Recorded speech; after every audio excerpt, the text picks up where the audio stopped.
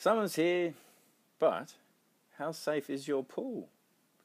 Did you know that since 2003, 73 kids have drowned in pools in Queensland? 82% of those were under 5 years old. Keeping kids safe around pools is a shared responsibility. So, what can you do to keep kids safe?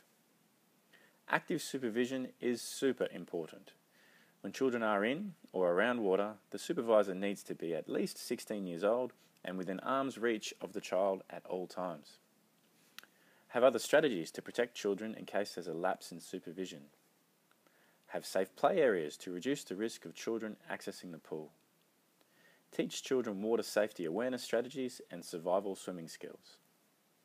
Have an emergency action plan and include a CPR instruction sign at the pool.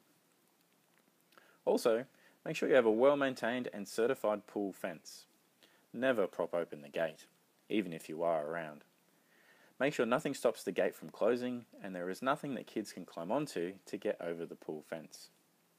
And don't forget to make sure kids are safe from neighbours' pools or when you are out visiting. Keeping a safe pool is cool.